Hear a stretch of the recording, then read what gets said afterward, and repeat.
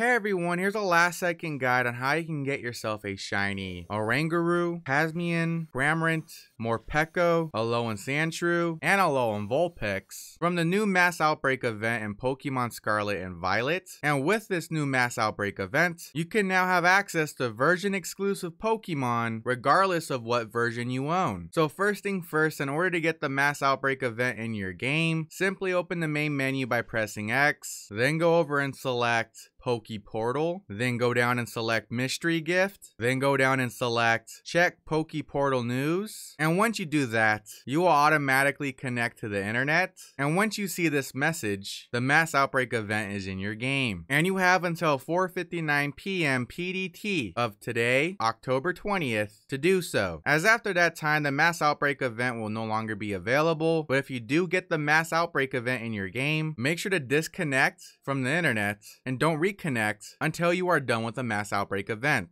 But with this mass outbreak event, the mass outbreaks unfortunately do not have higher shiny odds or any special marks, but you can find Oranguru and Passimian mass outbreaks in Paldea, Cramorant and Morpeko mass outbreaks in Kitakami, and Alolan Sandshrew and Alolan Vulpix mass outbreaks in the Blueberry Academy. So yes, you do have to own the DLC to fully experience this mass outbreak event. But in order order to get yourself a shiny version exclusive Pokemon, just go to one of the mass outbreak areas and KO 60 Pokemon of said mass outbreak. You will get this pop-up when you are nearly halfway there, and you will get this pop-up when you are almost at 60. But once you KO 60 Pokemon of said mass outbreak, Open your main menu by pressing X, then press your right bumper to drop a hard save for just in case purposes, since we will be making a sandwich with Herba Mysticas. So if we do have a failed shiny hunt in those 30 minutes, we can press our home button, then press X, then close the game and start over without wasting our Herba Mysticas. But after you drop the hard save, have a picnic and make a sandwich. For Oranguru, make a normal or psychic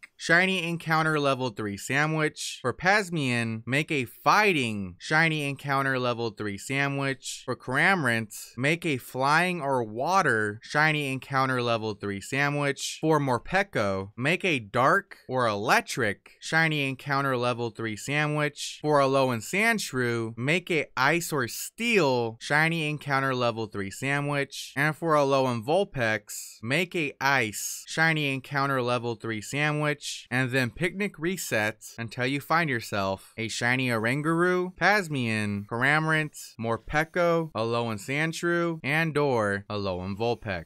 But hopefully this video was helpful. Subscribe if you're new, turn on those post notifications, all that good stuff, and I will catch you all in the next video. Have a good one.